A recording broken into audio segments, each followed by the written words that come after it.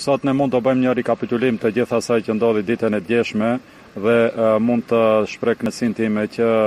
përkundër dëmeve të mëdha materiale për biznesin në fjalë ne nuk kemi dëme në njerëz. Kishte disa zjarrfikës, disa vullnetarë me lëndime të lehta, por ajo që është më me rëndësi shpëtuam pa viktima në njerëz. Situata pra sot ekipet e zjarrfikësve do të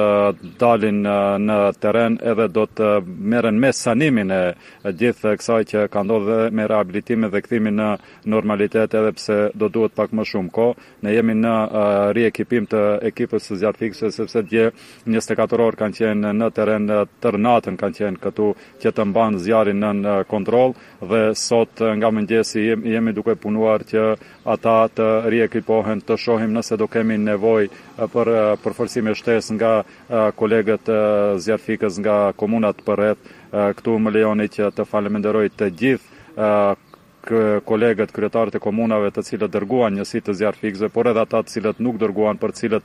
i kam pasur në komunikim dhe treguan gatishmëri që të përkrahin Tetovën në këto raste kritike Pra dje kish një solidaritet të skajshëm të gjitha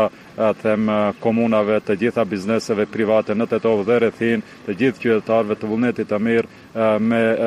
bashkëpunimin dhe përkrahjen e të cilëve ne arritëm të parandalojmë më të keqen dhe arritëm që gjithë këtë tragjedi ta kufizojmë në dëme materiale. Po sigurisht pra duke pasur parasysh edhe natyrën e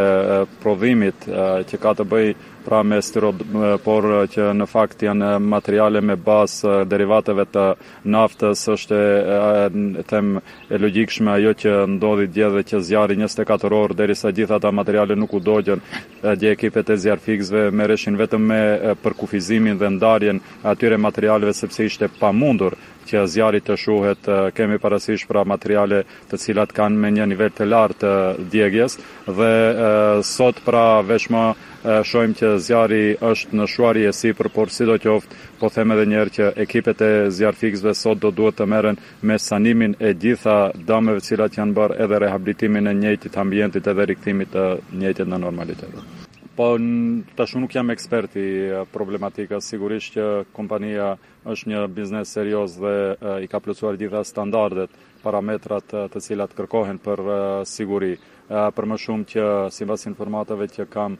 biznesi është i siguruar dhe këtë rast gjithë këto standarde të sigurisë do duhet t'i konstatojnë institucione organe përkatëse dhe të konstatojnë se si ka ardhur zjarri, ka ardhur nga pakujdesia njerëzore apo ka ardhur nga ndonjë rast të cilin nuk mund të parashikojmë Dhe këtu pra ne si institucione sigurisht që do të presim vendimin për shkak se gjatë ditës ka qenë edhe prokuroria këtu të dalin me konstatimet e tyre dhe të marrim hapat cilat mund të jenë në kuadër të ingerencave tona si pushtet lokal. Po sigurisht ne si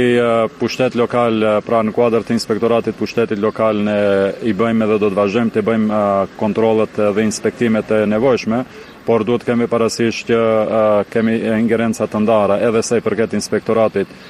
pra disa lloje të bizneseve mund të kontrollojnë dhe janë nën ingerenca të inspektoratit të pushtetit lokal, por bizneset më të mëdha ku kërkohet licencat të kategorive më të larta, ata edhe licencat por edhe kontrollin e ka inspektorati shtetëror. Por në këtë rast, edhe si në shumë raste tjera, na duhet një bashkërëndim i afërt i aktiviteteve me institucionet qendrore që mos e hudhim fajin te njëri tjetri por të dalim në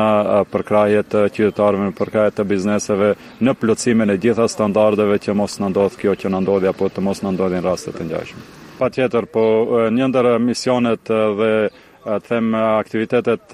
kryesore me cilat jam marrë unë gjatë gjithë këtyre gjashtë muajve në krye të komunës Tetovës ka qenë përkrahja dhe mobilizimi i njësisë kundër zjarrit. E din opinioni që ne arritëm që për një periudhë rekord këta njerëz t'i rikthejmë në krye të detyrës, sa i përket motivimit të tyre, pra sot e pamë në ditën në fakt në ditën e djeshme që kishim një njësi tejet të motivuar të cilët nuk pyesnin për orar, të cilët nuk pyesnin për rrezik dhe të cilët ishin në krye të detyrës dhe më të motivuarit dhe kishin lëvdata dhe unë i falemenderoj këtu sot gjithë ata të cilët me gjithë sakrificën që e banë që të jenë në, në krye të detyrës. Pra, ne kemi bërë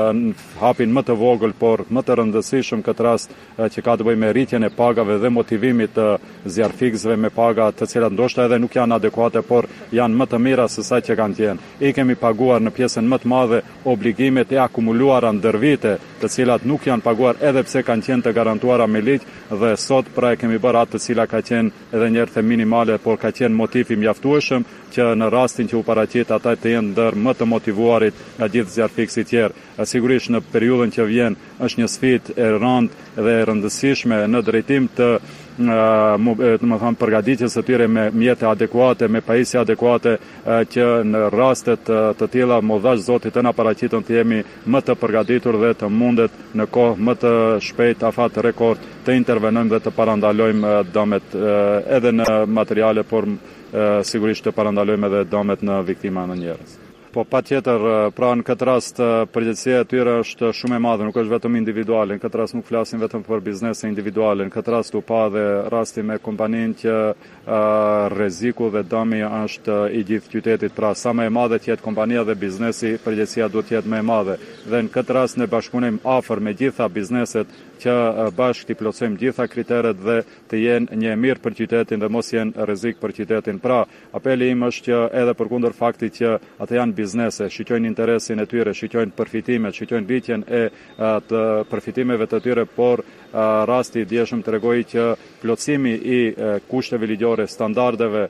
kritereve të cilat i kërkon rregullativa ligjore, ndoshta duken të kushtueshme në moment, por në periudhë më afatgjatë apo në raste të tilla duket se ata nuk kanë çmim, pra janë të patjetërsueshme dhe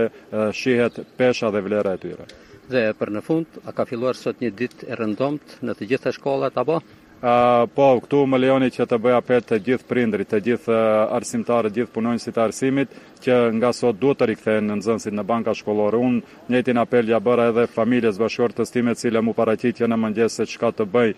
me fëmijët djali i madh veç ka shkuar në shkollë i dyti edhe atij unë bëra apel që të shkojë edhe pse kishte dyshime nga qytetarët por nga parametrat cilat ne i kemi publikuar dhe do t'i publikojmë në kontinuitet tregojnë ata parametrat të ndotjes së ambientit të ajrit që janë në kuadër të normalitetit edhe pse janë në nivel pak më të lartë për shkak të gjithë kësaj që ndodhi por nuk paraqesin ndonjë rrezik për fëmijët nuk paraqesin ndonjë rrezik për jetën e qytetarëve kështu që